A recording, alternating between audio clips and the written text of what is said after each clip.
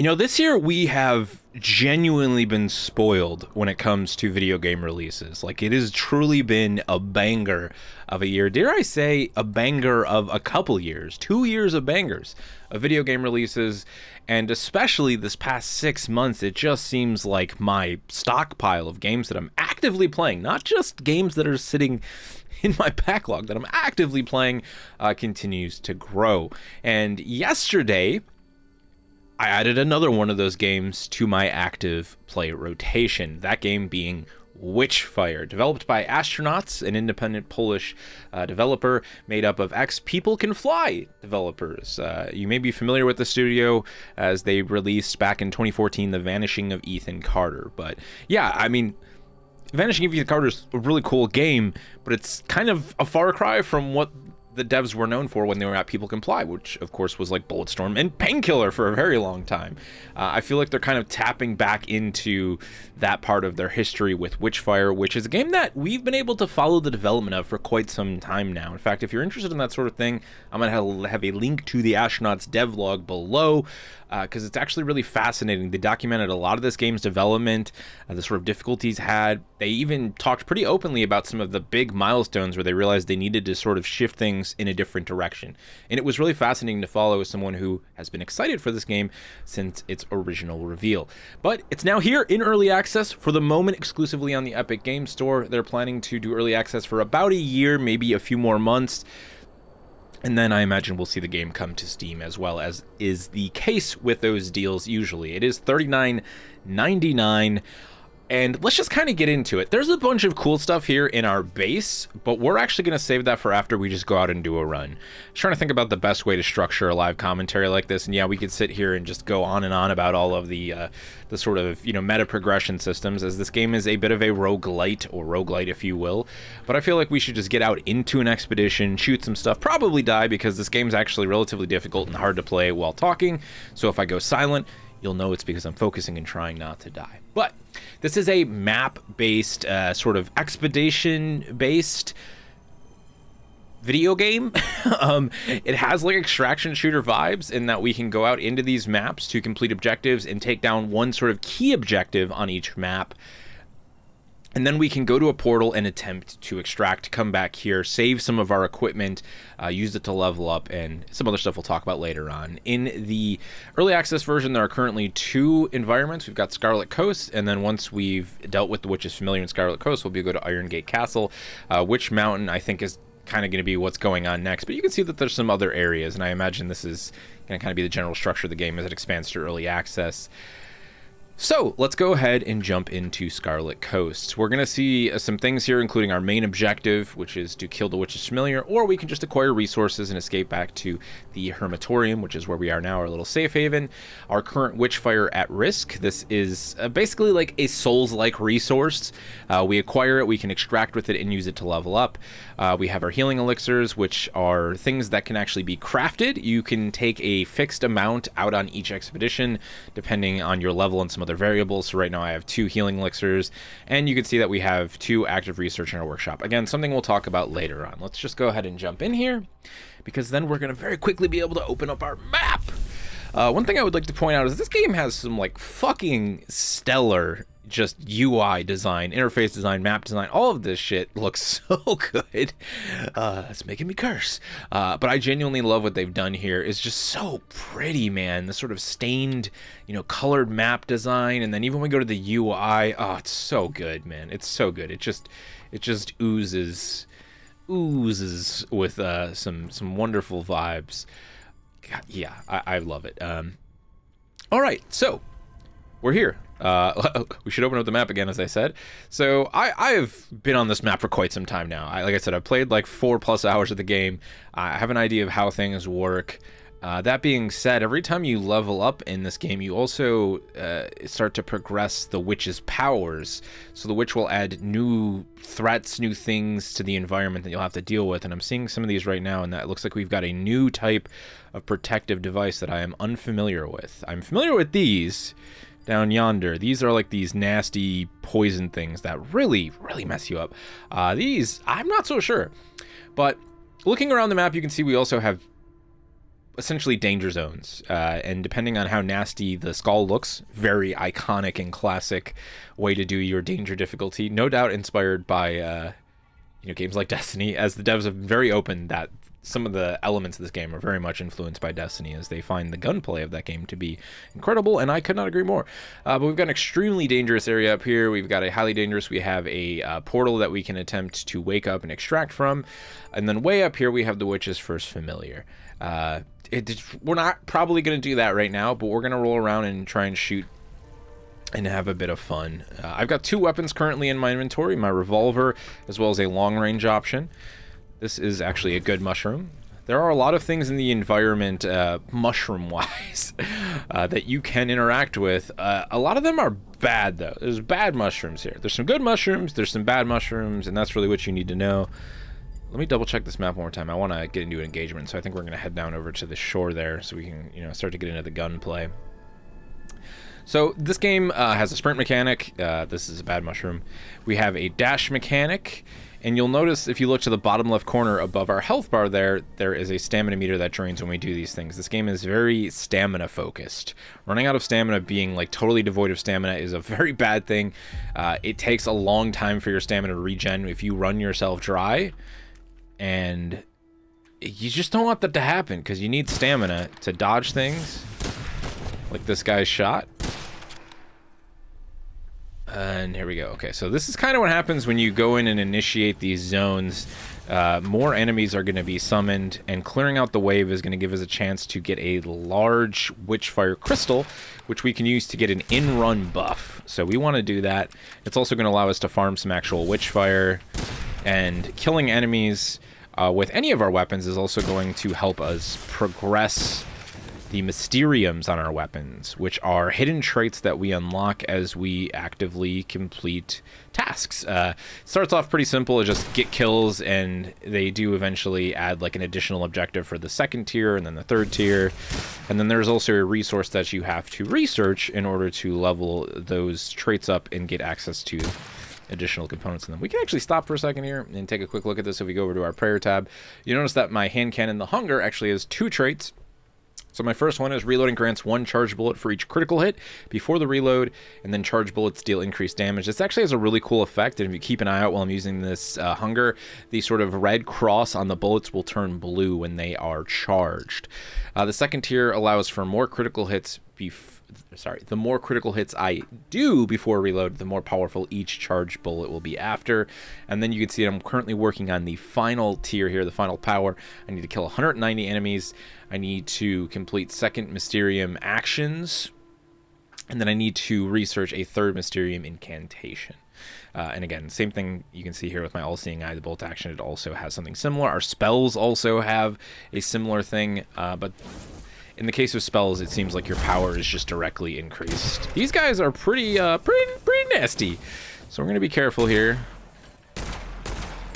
Landing headshots in this game is very important. Uh, just critical shots in general do more damage.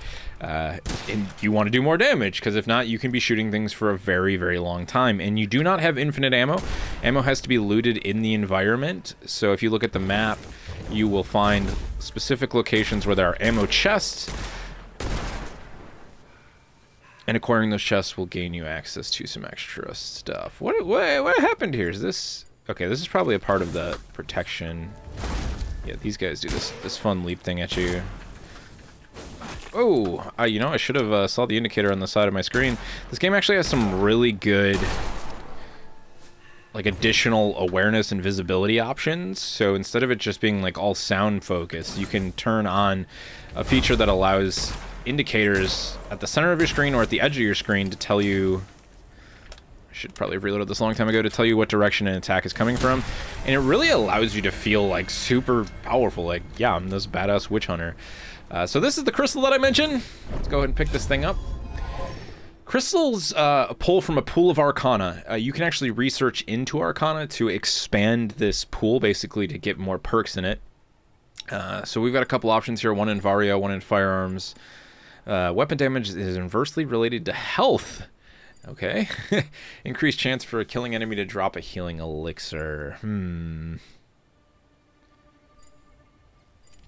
you know, we're just gonna go with this one. Uh, I I don't like feel too bad about my health pool in general. I'm I'm getting much better at the game, so I, am not too stressed about that. If I get myself like totally overwhelmed, then yeah, I'm I'm probably screwed anyway. But that's that's more so on me. So let's take a look at our map again here. Uh, we do have an ammo chest back this way.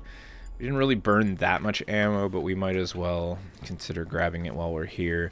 The thing I'm not entirely sure of just yet, I'm trying to figure out what sort of actions basically perturb the witch. The witch is really built like this uh, this you know this realistic entity that is constantly sort of watching you and stalking you. They're well aware of your presence. They know you're immortal, so they're not necessarily interested in just killing you, but they they want to make you feel like you you suck. You know, like there's no way in hell you could. Oh, this is a bad thing. Uh, like you could potentially like you could kill this witch. You know, get you to give up. And so every time you uh, engage in actions, get kills, or start to do really well. The witch is going to counter that up to the point where they will start to spawn uh, calamities, which are these nasty things you have to hunt down on the map and destroy, uh, lest they just continue to assault you with waves of undead. Uh, yeah, it's rough. I think this guy knows about me, or at least he's on a little patrol.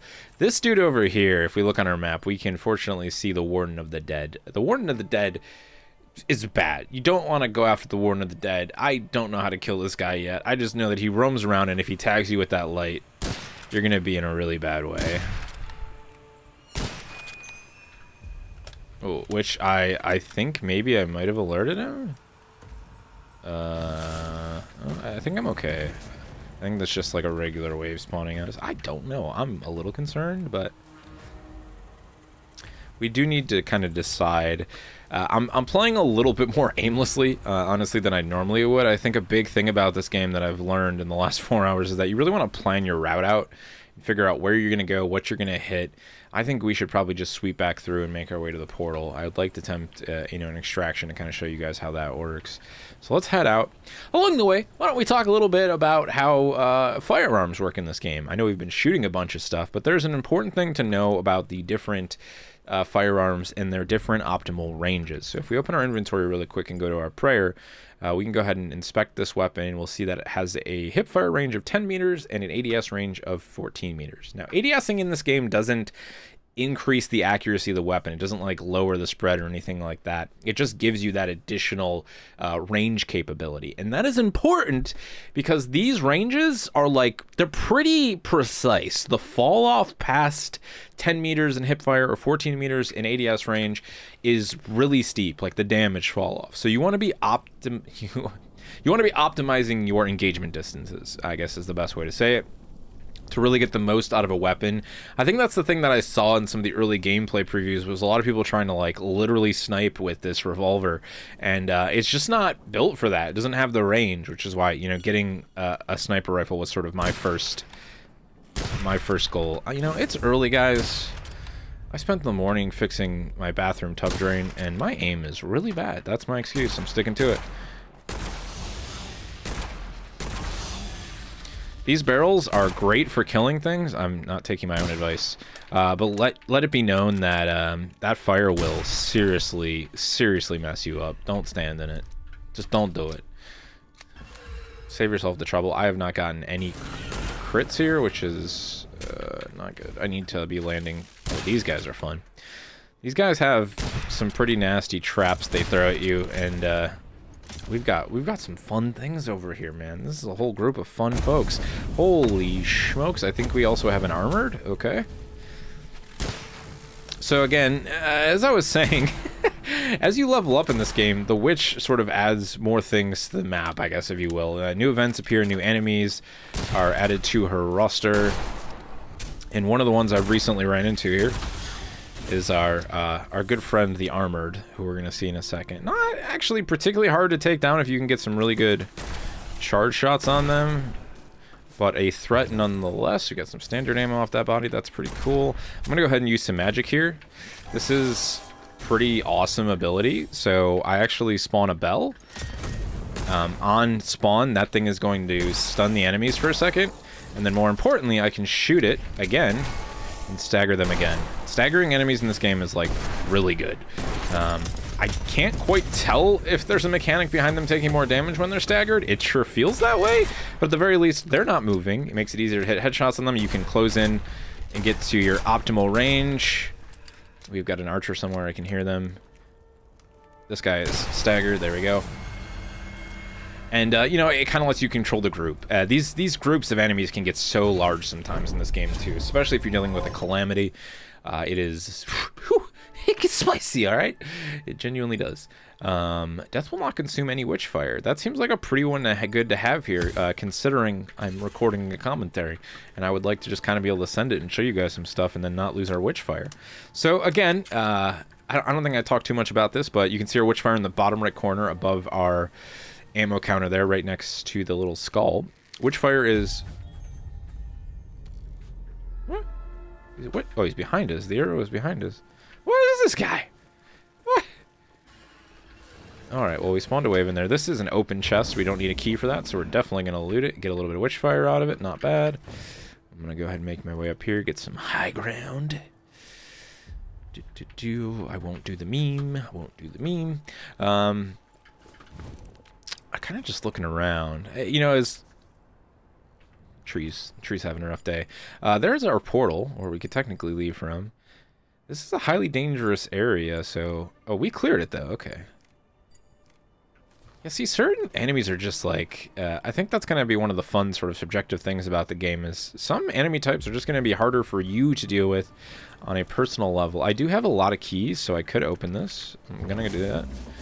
Get a White Raven's Feather, which is going to be a good resource uh, for Arcana stuff. Look at all these. Look at all these dudes. What are these nerds doing? Oh, oh they got a big guy with them. Alright, here we go. Uh, so this is the light version of my spell. I have a light and a heavy right now of this uh, first spell, so that heavy one is also stun-based like this light one is, but obviously being able to shoot that bell allows me to control a larger area for a longer period of time.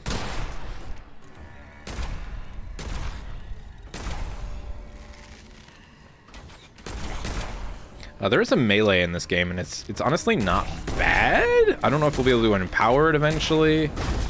Uh, and I haven't seen something about it, just missed out on that yet. But it's it's it's not bad. It's just being in melee range uh, requires you to be really familiar with the with the melee attacks of the enemies.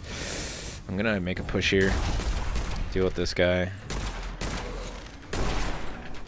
We've got a couple big dudes. I definitely want to go ahead and pop this. Um, God, the game's gunplay feels so fucking good, though. It is, it is a deeply satisfying uh, game to play, um, and I think uh, I'm not trying to say that I'm some like cracked aim god, but um, as you can see right there, I'm definitely not. Shooting in this game is uh, is is not like super difficult, um, but when you start playing, you're you're gonna miss a bunch. Ooh, elemental fire rate. Element. Wait, killing an enemy affected by an elemental magic temporarily boosts RPM of all weapons. Mm, seems kind of interesting, but not really. I'm looking for. I would definitely prefer the double light spell charge right now. Um, you can go back and actually unlock ones from previous tiers that appeared, but it does require you to use those feathers that we've collected. And you can see we can also re-roll using those feathers, but I'm kind of fine with this. My light spell is good. Again, I like stunning people in this game. It's it's strong. I'm totally in for it. Uh, so that's fine with me. Um, but as I was saying, yeah, the game definitely requires a bit of mastery on the shooting front. Um, hitting headshots is important, and you know optimizing those ranges is important. Hipfire though feels really good in this game. To just like bam, bam, bam, rip off some heads with hipfire is really fun. Uh, looks like we got an ammo chest up there. How am I doing? We're like, we're doing okay. Ooh. Oh, you know what? Oh, no, it is up here. Okay. I wasn't sure if it was, like, up, up. We'll take this. Because there's a good chance as well. We're going to get supply key, some demonic ammo. So demonic ammo is specifically for demonic weapons. This is a type of weapon you can research that only uses demonic ammo, which is considered quite rare. Um, we want to turn around and actually go the other way. I have not researched one just yet. My kind of mindset is to research a, uh, a you know a mid-range like the revolver like I already started with, a long range, and then I want to try and get my hands on a shotgun. The thing is, when you research, you're researching into like an archetype. You're not guaranteed to get one specific weapon. Like just because oh the warden's here. Um, just because you research into close range doesn't mean you're going to get a shotgun. There's also like a machine pistol you can get, which I uh, was not a particularly large fan of. I'm kind of curious, like, how... Can I hide like this? I, I honestly have just been like, okay, I'm running. Okay, I think we're okay. As long as we don't engage it and don't get caught in the light. Oh, I accidentally dashed into it. We're okay, we're okay, we're okay, we're okay. Okay, we're getting out of here. Oh, it's definitely not happy. Um, again, I could extract there. Oh, I kind of want to go down here and clear some stuff out, though. I feel like this has been a particularly cautious uh, run for me. Uh, which is, I guess, uh, beneficial to trying to talk about everything Schemist offers. So these are the traps I was talking about.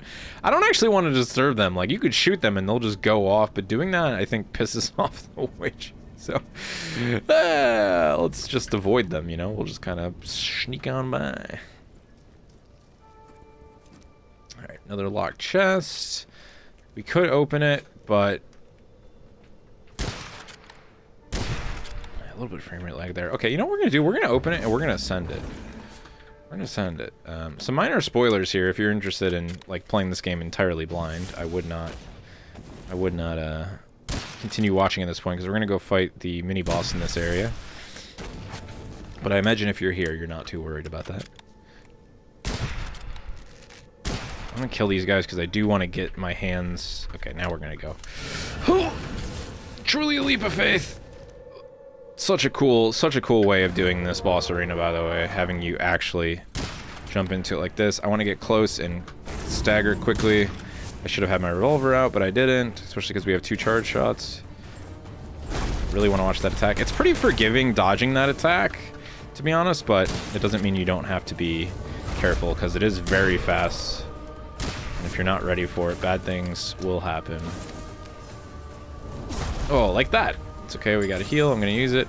We don't want to stay close to this guy at all. He will start to unleash some pretty nasty melee combos on us. The nice thing, though, is if we catch that early, we can actually stagger a minute, which is beneficial to us. I'm to go ahead and spawn our bell here. We're to get out of the way of that.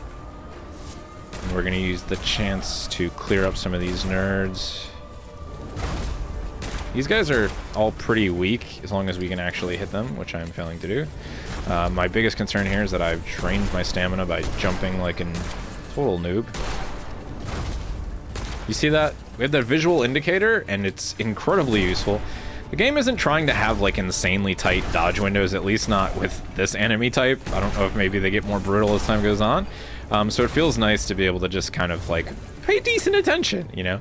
Uh, it can catch you off guard, you can be overwhelmed, but at the same time, I... Yeah. Ammo management is so important.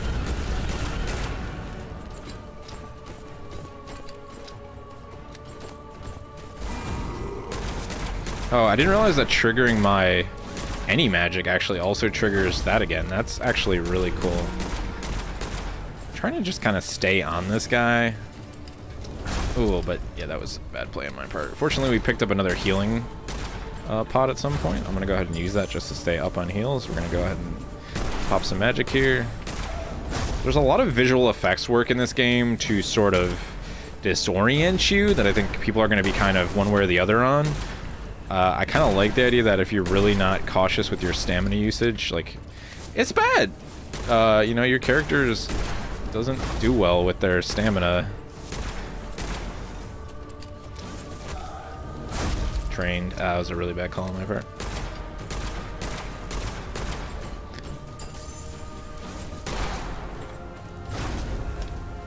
Get all my guns reloaded here. I'd like to go ahead and make use of my light spell in a second here. We can stagger this guy, and that opens up a ton of damage. But obviously not an easy thing to do.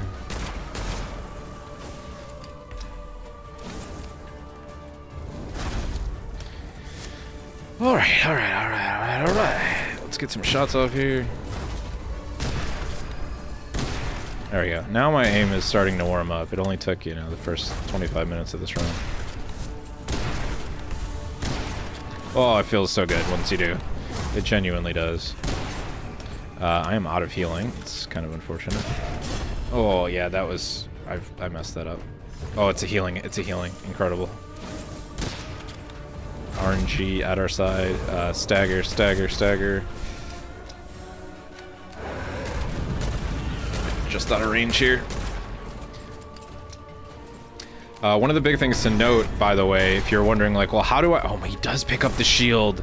Oh, that's bad. That's bad. That's bad, folks. Oh, I don't like that. I don't like any of this. I am being poisoned. Well then, it's time to go show you all the hermitorium. okay. Uh,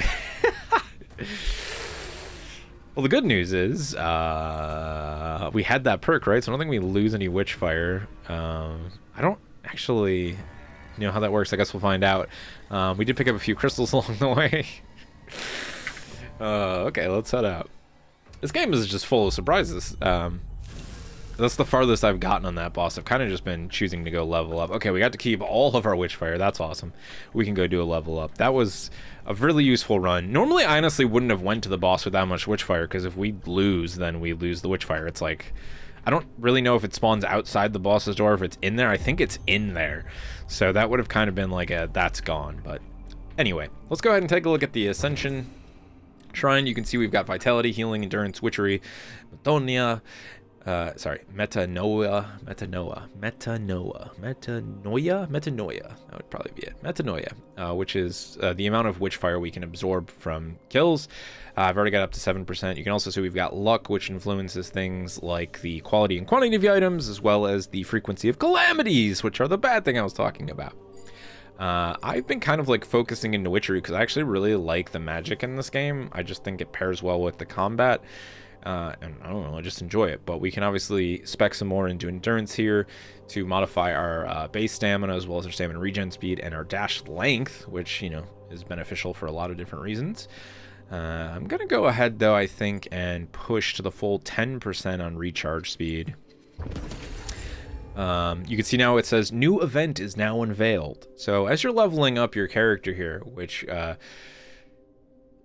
you know allows you to progress these these different uh, stats you're also like changing the world and adding more enemies and influencing things i want to just double check and see what kind of crystals we've got here i don't think we have enough to sorry witchfire chunks crystallized witchfire um yeah, we don't have enough. It's not worth spending it. The nice thing about getting chunks, obviously, is much like uh, if you had like a you know a, a, fragment of a soul in Dark Souls or whatever, uh, you you just get to keep those in your inventory. They're bound to you. You're not going to lose them. So you can stock up on those and kind of passively level up. It is unfortunate because I'm going to be sitting on 4,800 uh, and not really able to do anything with it, but that's okay. Um, it looks like we, I think, leveled up our spell there. So let's go ahead and take a look at the mirror and claim some goodies here. So we're going to claim a close range weapon. We finally got a shotgun. I'm very excited. I was looking, I was hoping to get one of these. Pellets in certain enemies explode after a short while, setting them on fire gains extra power uh, when fired while sliding. Dude, the Destiny inspiration in all the best ways. I love it. Uh, we also got our third Mysterium incantation. I was researching this because this is going to allow us to get our third Mysterium on one of our weapons. You need to research one of those incantations every time it is required to level up a weapon, um, which is cool. I don't think I can have... Okay, so this is for my demonic weapon slot. So if we go this route, we have to decide to drop off the hunger or drop off the all-seeing eye uh, in favor of the shotgun. I think for now I'm going to try the shotgun, and we will drop off the hunger. Um, you can see here we can unveil our Mysterium for our bell, which I'm kind of interested in. It's going to give us a new unknown power, and we're also going to increase the shockwave range to 35, so let's go ahead and do that. Oh, a 10 second duration. Okay, that's pretty cool. Oh, and then it keeps going up 20 seconds, and then we get another power. 40 meters, wow. Okay. I like that. I like that a lot. Um, yeah, yeah, that's cool. uh, this one actually does damage now, too. We already got the first one up on that, which is pretty, pretty, pretty cool. Pretty cool, if you ask me. All right, let's check out the shotgun real quick. Oh, that's a good sounding shotgun. All right, awesome. Um, man, yeah, that kind of covers the basics of the hub. We also have our uh, our potions brewer down here, so uh, we need herbs, um, and we can use those herbs to make to make healing potions. Uh, simple as that. I, I, imagine this is, you know, maybe something that'll expand in the future, but right now it's pretty simple, which I kind of like. Uh, you just go ahead and get the Angelica, which you can find out in the world, and you turn it into potions. It's kind of the nice thing about this game having like this extraction element, right, is it's not like a roguelike in a way where you have to like die uh, or defeat the thing to finish the run, right? You could just go and farm resources, get some uh, you know, get some uh, some witchfire and then come out and level up and do your thing, and, you know, in a very soulsy way. To be honest, uh, it's a very common thing to do in, in a Souls game. Is you know, between bonfires, go and farm those resources and head back out. So if you're familiar with that sort of gameplay loop, that's uh, very much what you're getting here. Also, we should start more research. Uh, no reason, I guess, that I've seen so far to just leave research hanging, so I definitely don't want to do that. I think it's time that I finally... We can also get a magical item, too. This is, there's still so many choices. uh, I feel like it would be cool to get a third weapon. We're, we're sitting on a decent amount of demonic ammo, so I guess I'll go ahead and throw that on there. Uh, and then I'm going to go ahead and grab a second Mysterium Arcana, because I'm already getting that point where I'm going to need it for some other stuff. And uh, yeah, that about covers it, folks. Um, I hope I talked about all the things I wanted to. Again, this game's like a lot more than meets the eye. There's a lot of cool stuff here. If you like the idea of sort of a run-based uh, first-person shooter like this, uh, this is this is it, man. This game is doing some really cool stuff. I'm very excited to see how it grows over the next year. But what's already here is deeply satisfying to play. I really enjoy the gunplay. It definitely has that Destiny inspiration in like all the right ways when it comes to the gunplay, and I just think it's uh, executed very well here in early access. This feels like a really good polished early access entry. I haven't had a ton of performance issues. It just runs great. It plays great. There's a satisfying loop to dive into here. The game can get extremely stressful at times, uh, especially when those calamities hit. And I just it's one of those games I think is like hard to watch because I have like knowledge of the game now, right? So it, I'm making things maybe look a little easier, but when you first play the game, the discoveries that you're going to have uh, are, uh, are inevitably going to lead to your death a bunch of times. Uh, that's kind of fun. That's the fun of it, right? Is uh, you know learning where the challenge in the game is and how to engage it, how to avoid it when necessary just a lot of fun. There's a link in the description below if you'd like to check it out over on Epic. Again, if you just want to wait for the early access to wrap up, I imagine it'll be coming to Steam after uh, it, it, launches into its 1.0 state, so you can keep an eye out for that. But hey, thanks for hanging out to me today. Uh, thanks for hanging out to me today. Thanks for hanging out with me today. I hope you enjoyed this little look at Witchfire, and I'll see you folks around. Take care.